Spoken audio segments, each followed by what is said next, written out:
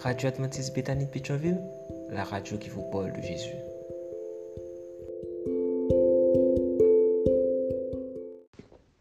La vigile matinale provient de l'œuvre de Monica Diaz, Méditation quotidienne au féminin.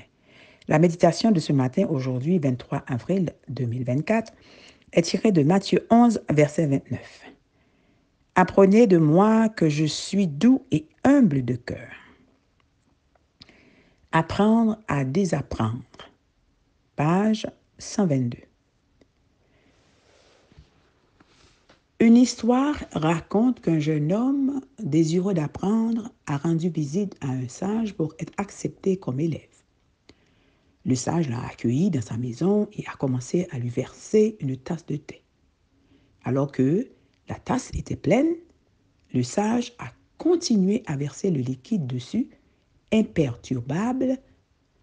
Alarmé, le jeune homme a dit, Maître, la tasse déborde, ne continue pas à en verser.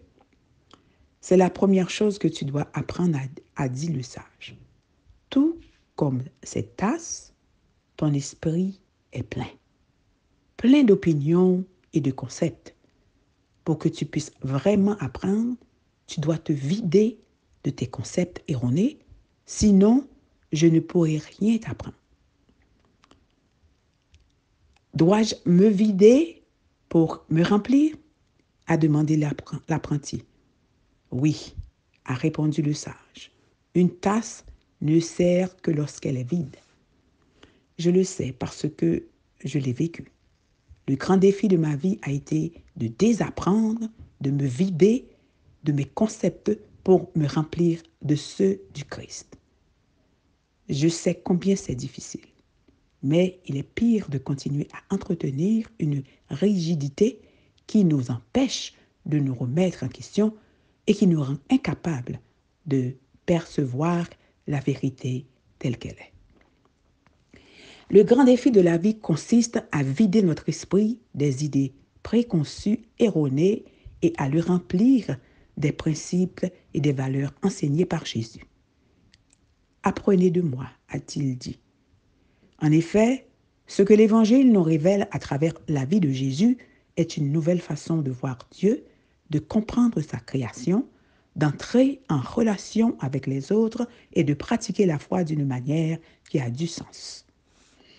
Hélène White a écrit Dieu ne peut se servir d'hommes et de femmes qui se plaisent dans les ténèbres et qui ne font aucun effort pour se rapprocher de la source de la lumière.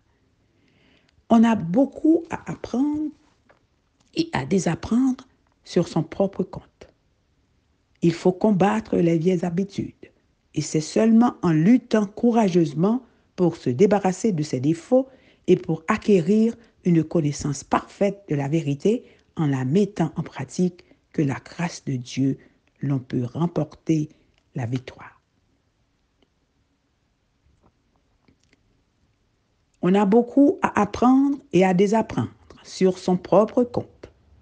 Il faut combattre les vieilles habitudes et c'est seulement en luttant courageusement pour se débarrasser de ses défauts et pour acquérir une connaissance parfaite de la vérité en la mettant en pratique que par la grâce de Dieu, l'on peut remporter la victoire. Ils auront à désapprendre beaucoup de ce qu'ils ont appris. Ils trouveront alors cette tâche ardue car leur esprit aura été victime de multiples objections qui y auront pris racine comme les mauvaises herbes dans un jardin. Mais ce n'est pas impossible à condition de se rapporter à la source de lumière. Apprenons du Christ, tandis que nous désapprenons tout ce qui ne correspond pas à ses enseignements. Apprenons du Christ. Amen, amen, amen. Apprendre et désapprendre. Que Dieu vous bénisse. Bonne journée. D'autres émissions aussi intéressantes sont aussi disponibles sur notre site radioadventistebethany.com et aussi sur toutes les plateformes de podcast.